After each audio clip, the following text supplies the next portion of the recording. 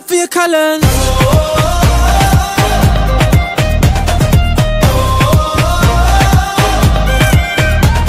Mm, Ready the people, a new day has just begun, and I wear my colors on.